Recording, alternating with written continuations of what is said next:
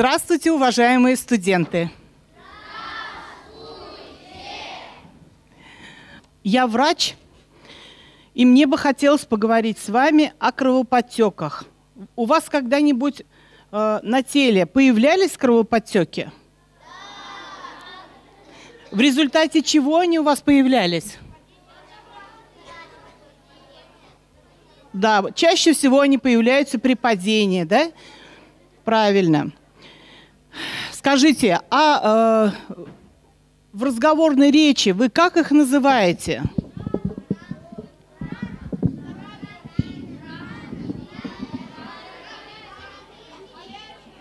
Да, я слышу, что большинство, да, большинство из вас говорят, что это синяки, да? А почему их называют синяками? Вы не задумывались? Потому что они синего цвета, да? В жизни каждого человека случаются неприятные ситуации. И чем чаще мы нарушаем определенные правила, тем чаще возникает риск травм. Да? На картинках мы видим, да, приведены случаи из жизни.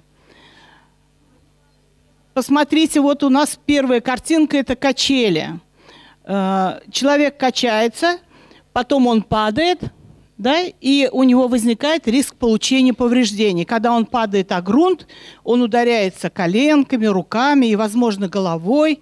Если он, не дай бог, поднимет голову, а в это время качели продолжают, скамейка двигаться да, по инерции, то качели еще могут ударить ему по голове. Это очень опасно.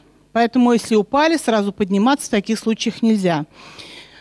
Посмотрите, а в некоторых случаях, когда вы используете транспортные средства, велосипед или ролики, э, Конечно, необходимо защищать и голову шлемом, одевать на коленники, на рукавники. Почему? Да просто потому, что когда вы ездите на велосипеде, вы набираете скорость большую. И когда на большой скорости, скорости движется транспортное средство, и вы падаете, то повреждения бывают серьезными, глубокими. Да? Поэтому необходимо себя защищать. Для того, чтобы вы не повреждались, и чтобы вы э, себя сохранили в том виде красивым, как, какие вы есть сейчас, необходимо знать правила. Поэтому, когда вам покупают э, что-либо, велосипед, ролики, либо вы идете играть новые игры, пожалуйста, спрашивайте своих родителей, а какие правила поведения при э, данном занятии, чтобы взрослые вам рассказали, что можно делать, а что нельзя. Хорошо? Молодцы. Ну вот тут тоже мы видим все повреждения. По лестнице бегать нельзя. Очень опасно. Много углов у лестницы, да? Мы можем упасть и травмироваться. Значит, э, риск получения травмы существует. Мы с этим согласились.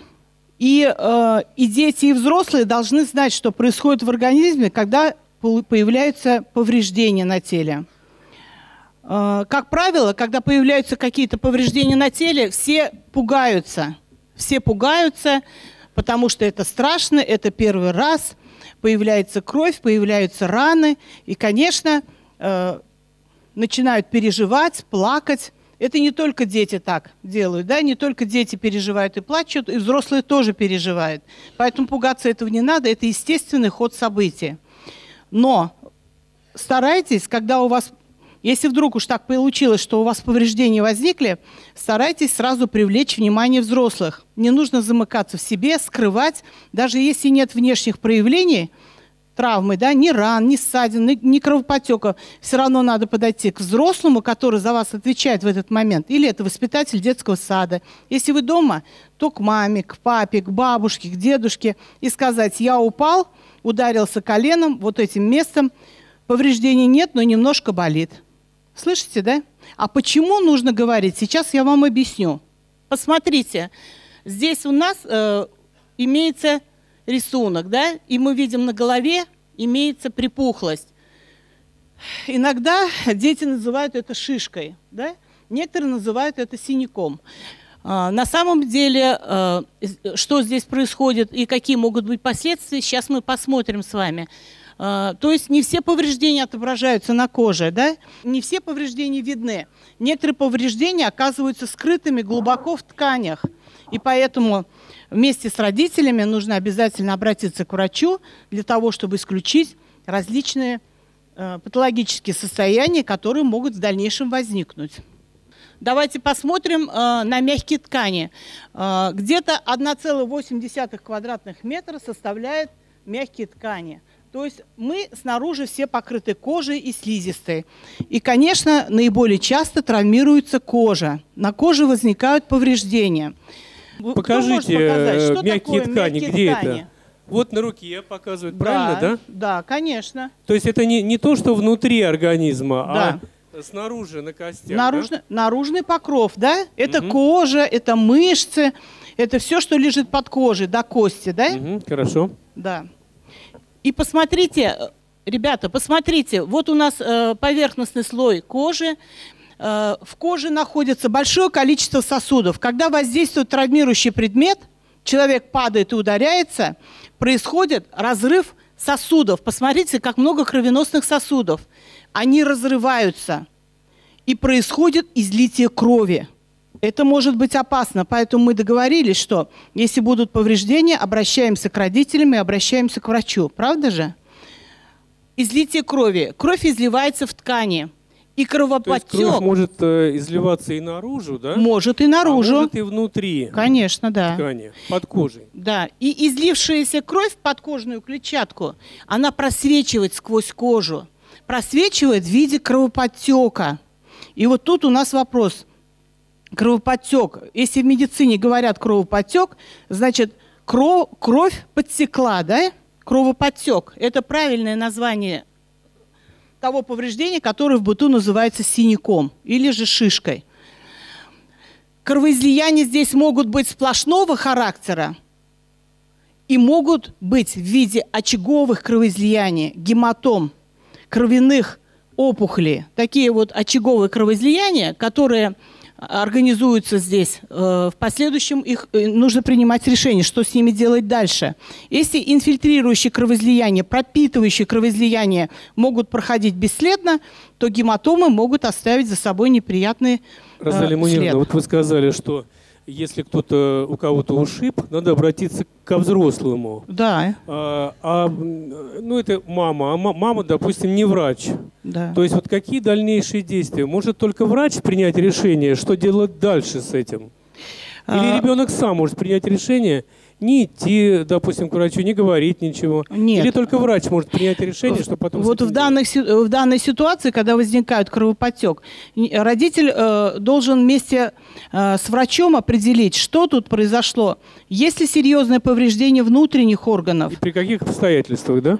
Да, и, конечно, э, ребенок обязательно должен родителям рассказать, что произошло, как он упал. А вот у нас есть и обо что вопрос. ударился. Можно сюда Пожалуйста. Вот молодого человека? Есть... Сейчас он микрофон скажет.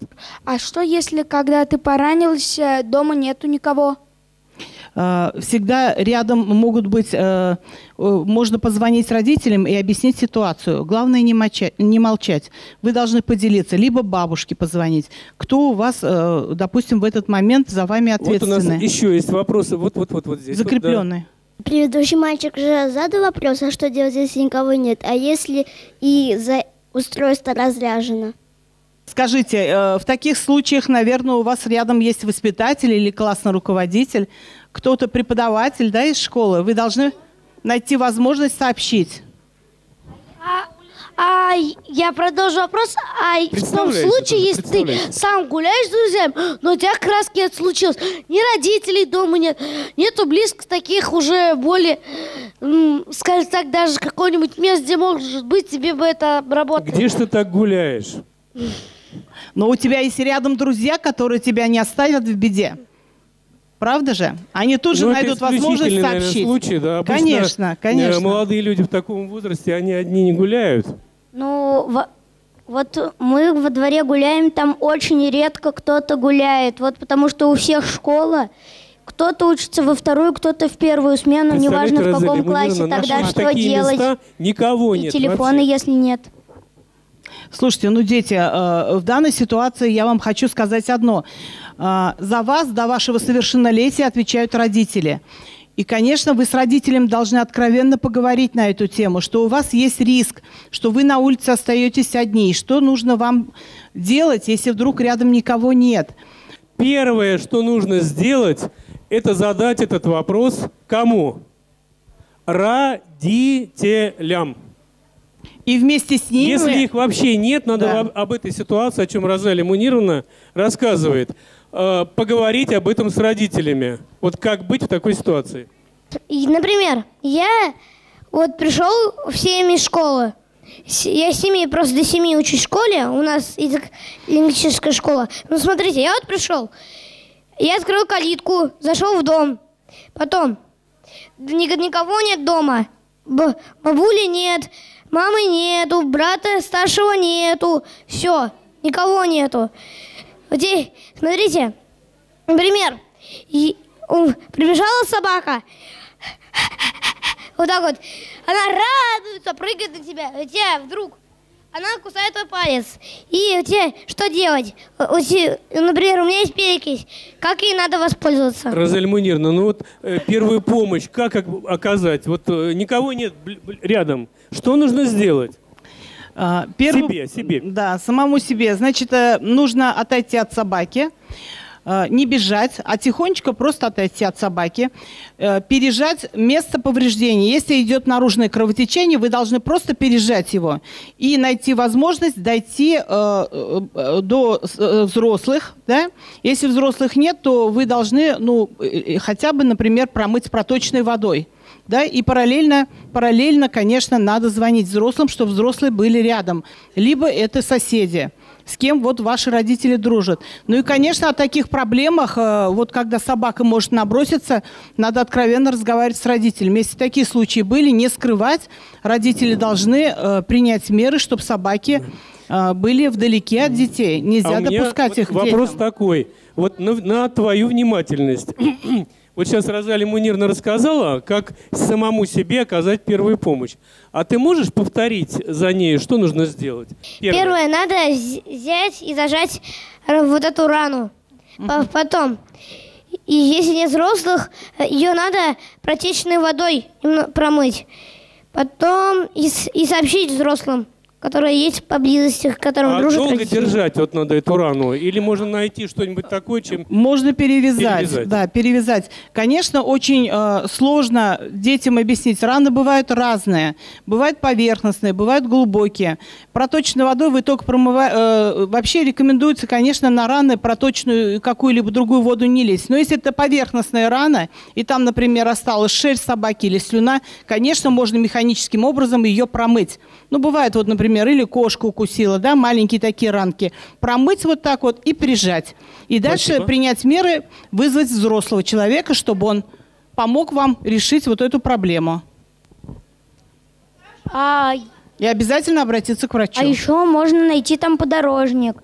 И от собаки надо А не просто так его? медленно отходить.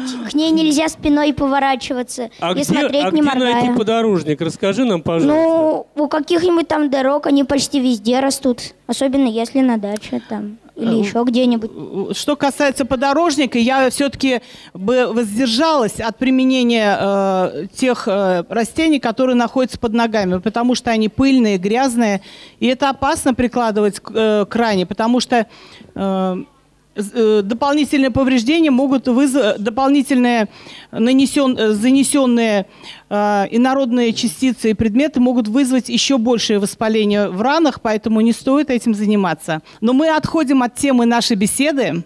Так. Отходим от темы нашей беседы. Давайте продолжим по кровоподтекам. Я понимаю, что э, тема медицины очень актуальна. Конечно, очень актуальна. Вы молодцы.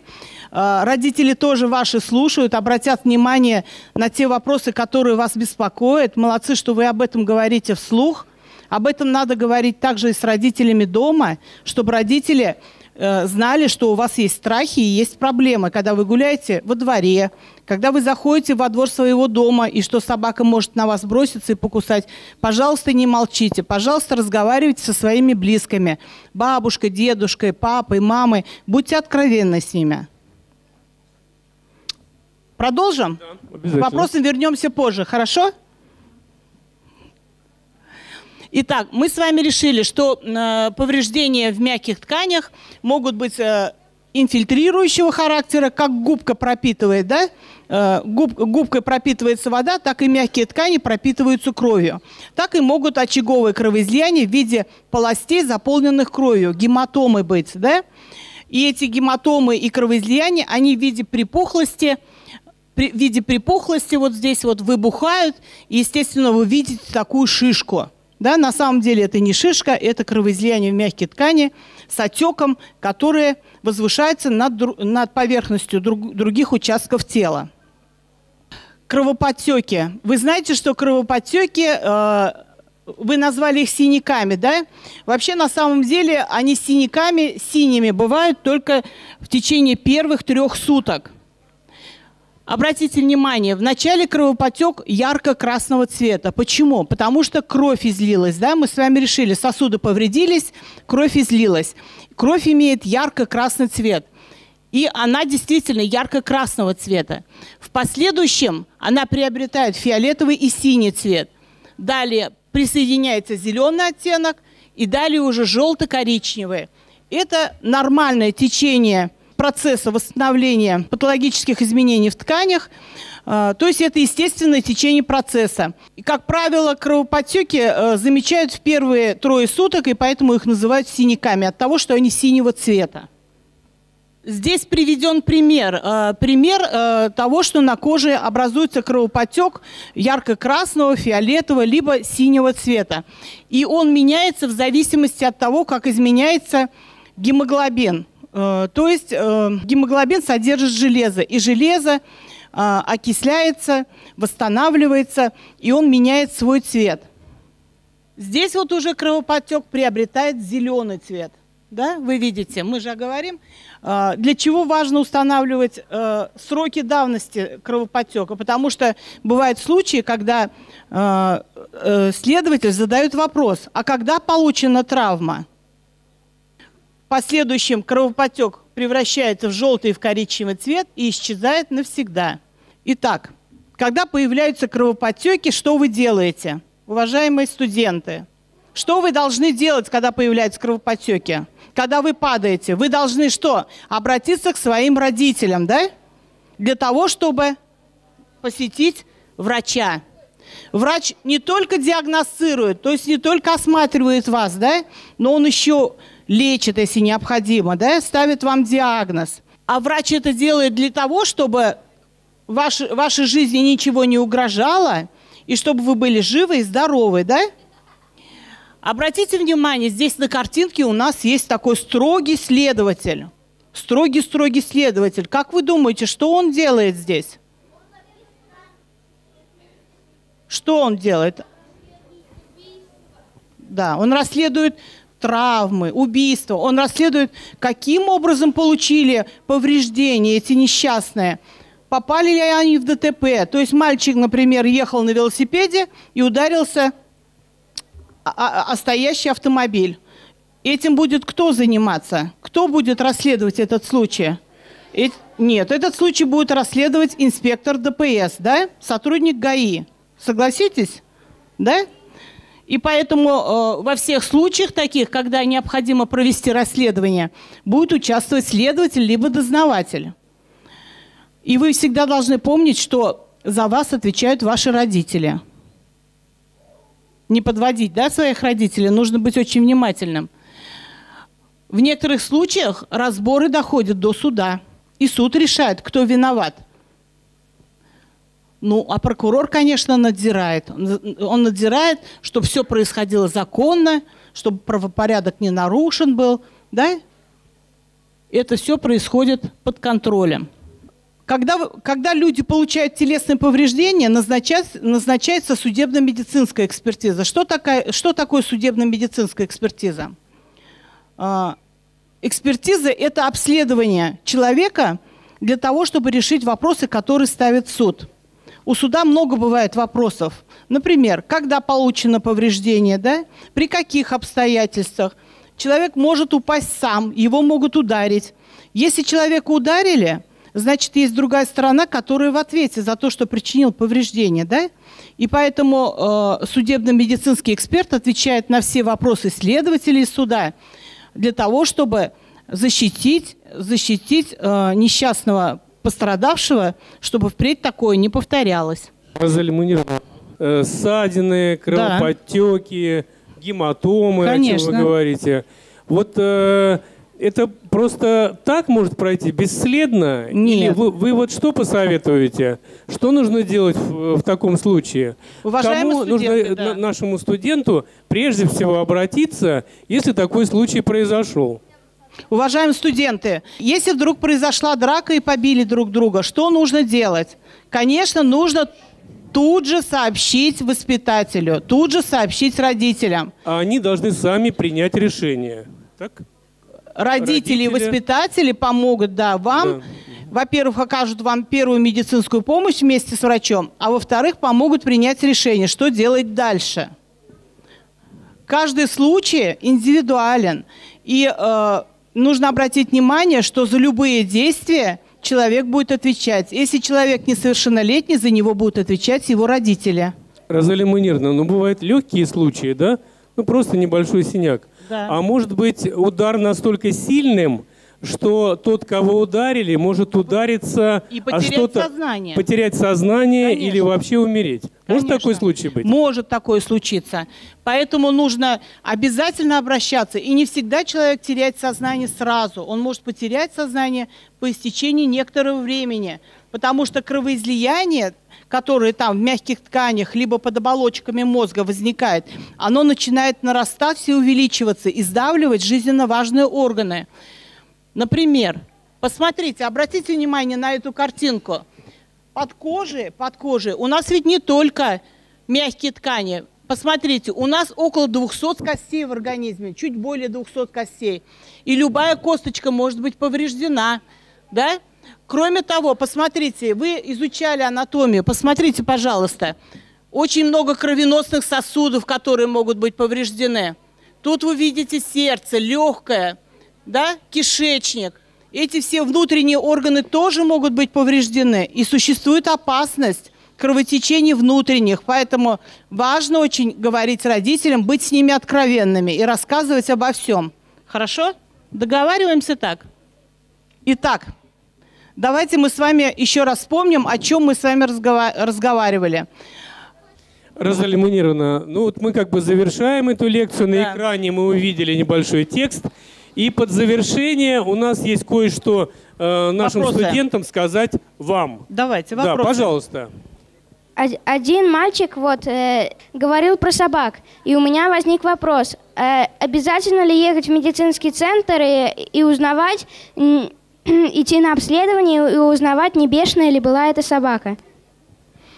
А, если, ну, если, да, если на вас напало животное, э, в частности, вы говорите о собаке, обязательно нужно ехать в медицинский центр, потому что э, животные могут быть больные, и необходимо в некоторых случаях делать прививки. Давайте мы поблагодарим Розалию Мунировну за Спасибо. лекцию.